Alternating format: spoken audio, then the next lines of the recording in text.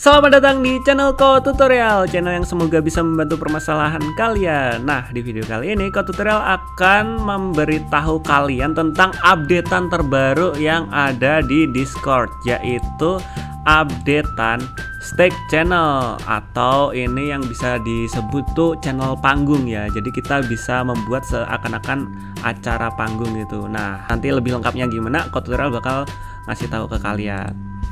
Nah, Selain kode tutorial ngasih tahu, kode tutorial di akhir video nanti akan memberitahu kalian juga gimana caranya agar bisa buat stake channel kayak gini. Soalnya ada cara khususnya atau trik khususnya gitu guys. Uh, langsung aja kita lihat updatean yang terbaru ini.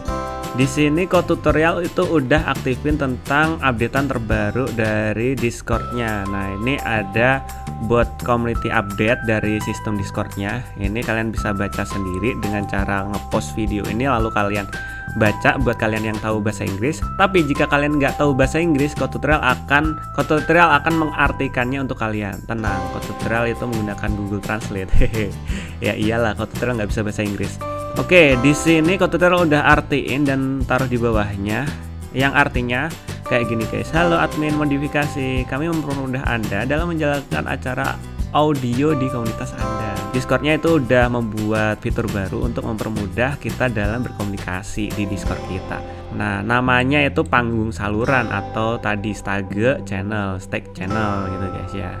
Nah, kita langsung aja di sini tuh fitur-fiturnya apa sih? Nah, fitur-fiturnya yang ada di sini tuh ada uh, kayak gini Anda dapat mengatur topik percakapan speaker tampilan di bagian atas UI terusan kemudian anggota dapat bergabung dengan pendengar tanpa suara secara default nanti tutorial bakal jelasin Nah, anggota dapat mengangkat tangan untuk meminta bicara. Anda dapat menunjuk moderator panggung yang dapat menyetujui atau menolak permintaan ini. Oh, Oke, okay. dan hal penting yang lainnya nih guys, di saluran ini tuh uh, berupa audio ya guys ya. Dan nggak bisa share screen atau share layar atau facecam gitu nggak bisa. Dan uniknya di sini guys di sini itu bisa digunakan 1000 pengguna ya guys ya yang dapat bergabung dalam saluran atau channel voice ini. Tapi untuk tahap saat ini ya guys ya. Nah dan ini nih yang penting guys yang harus kalian tahu ini. Ini Updateannya ini sudah tersedia di semua platform ya guys ya di iOS, Android, desktop, dan web.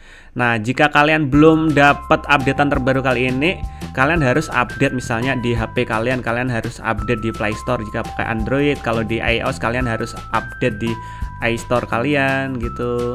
Oke, oke. Jadi Ko Tutorial bakal jelasin satu persatu nih. Kan Ko Tutorial udah buat nih, Ko Tutorial buat channel panggungnya namanya channel podcast ya, gitu. Ala-ala podcast gitu.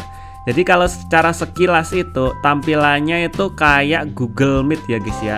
Di sini ibaratkan ya, ibaratkan Ko Tutorial sebagai guru dan orang-orang yang online di sini itu sebagai murid. Nah, di sini tuh hanya orang-orang tertentu aja yang bisa Ko Tutorial aktifin voice-nya. Nah, jika tutorial tidak ngasih permission atau izin ke mereka untuk berbicara, mereka nggak bisa berbicara. Nah, kita balik lagi. Nah, kalian pasti bertanya-tanya apa bedanya channel stake, stake channel sama voice channel? Beda, guys.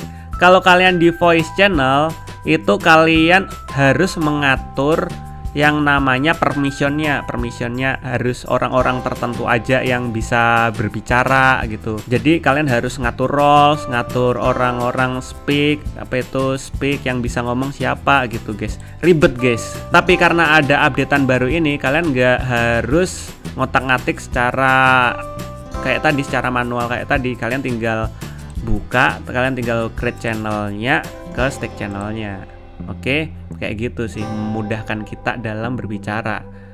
Oke, nah lalu di sini yang tutorial tadi bahas nih, anggota dapat mengangkat tangan untuk meminta berbicara. Nah di sini untuk dapat ngomong itu nggak bisa kayak di voice channel. Kalau di voice channel kan tinggal unmute sama ngomong, tinggal unmute terus ngomong. Kalau di sini kalian harus angkat tangan dulu. Nah, di sini kalian bisa lihat di bawah ada fiturnya hands up atau angkat tangan. Nah, kita tinggal ngomong ke audiens kita atau pendengar kita. Eh guys, kalian kalau mau ngomong kalian bisa angkat tangan atau hands up. Nah, jika kalian ada pertanyaan kalian bisa angkat tangan. Nanti jika mereka ada pertanyaan atau ingin masuk ke bagian voice, mereka harus ngeklik di hands up. Nah, kita coba nih guys. Eh guys, yang mau ngobrol sama kode tutorial kalian hands up. Tuh kalian bisa lihat di bagian hands up sini di sebelah kanan itu yang pengen ngobrol sama kode tutorial itu ada empat orang. Ada fans kode tutorial namanya fans kode tutorial murid kode tutorial orang yang meresahkan sama babu kode tutorial. Nah di sini orang-orang yang pengen ngobrol sama kita. Nah kita coba invite salah satu invite salah satu untuk ngobrol sama kita. Kita ini aja kita coba si fans Go tutorial. Atau kita coba semuanya kita invite. Nah kalau kita udah invite tinggal mereka menerima invitean dari kita. Nah kalau udah masuk kayak gini tandanya udah bisa ngobrol sama kita. Halo guys. Halo. Halo. Oke tuh. bisa bisa dengar. Nah kayak gitu guys. Bentar guys. Uh, untuk kalian yang aku invite bisa mute sebentar soalnya aku lagi record Nah, jadi hanya orang-orang tertentu aja yang bisa ngobrol di server podcast ini. Nah, kemudian di sini Anda dapat menunjuk moderator panggung yang dapat menyetujui atau um, nolak permintaan ini. Jadi, semisal kalian itu sendiri, nah kalian bisa ngajakin admin kalian atau nunjuk admin kalian untuk menyetujui atau mengizinkan orang siapa yang yang bisa masuk channel. Misalnya kita buat si uh, fans tutorial ini sebagai admin dulu. Kita buat sebagai admin. Nah, kalau kita udah buat dia sebagai admin, si admin ini bisa masuk ke dalam voice tanpa harus kita invite, guys. Nah, dia bisa masuk seperti ini, guys. Bisa masuk tanpa kita invite. Karena kenapa? Karena dia berstatus sebagai moderator. Nah, moderator ini didapatkan dari role admin itu guys. Nah pasti kalian bertanya-tanya kan dari awal sampai akhir video caranya gimana bang? Supaya bisa dapat stake channel kayak gitu bang. Stake channel kayak gini. Nah soalnya ini di discord yang belum terdaftar atau belum didaftarin itu nggak ada stick menu stick channel kayak gini. Nah semisal kode tutorial kasih contoh di server discord yang kode tutorial udah buat barusan. Nah di server discord yang baru misalnya atau di server discord kalian yang nggak ada pilihan di create channelnya nggak ada pilihan stack channel. Nah untuk discord yang baru-baru kayak gini yang belum didaftarin untuk stack channel nggak ada kan? Cuma ada pilihan text channel sama voice channel. Nah untuk dapetinnya gimana? Kalian bisa ngikutin aja yang kode tutorial lakukan sekarang. Nah kalian tinggal ke bagian server setting yang ada di atas ini. Kalau kalian pengguna laptop ke server setting.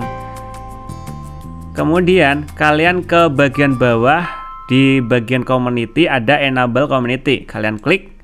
Setelah itu kalian get started atau kita, kalian mulai untuk komunitasnya Nah ini kalian mulai. Nah ini kalian tinggal centang-centang aja. Klik untuk verifikasi email Lalu ini kalian juga klik. Kalian klik-klik aja Lalu kalian klik next.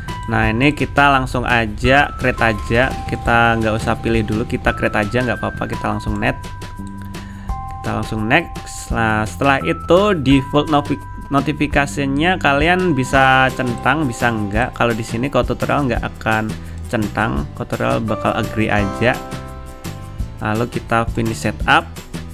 Nah udah deh. Kalau udah kayak gitu tampilannya akan seperti ini guys. Community settingnya akan seperti ini. Udah deh.